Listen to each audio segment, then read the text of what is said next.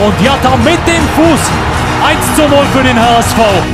Und Manuel Winsheimer. Ausgleich. Hochverdient. One! 68. Minute, der HSV liegt vorne. Von Aaron Hunt und der sitzt. Das 1 zu 0 für den HSV durch den Kapitän.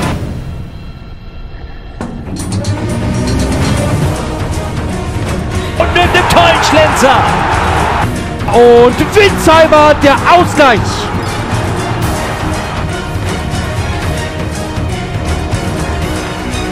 Aaron Hunt mit dem Ausgleich.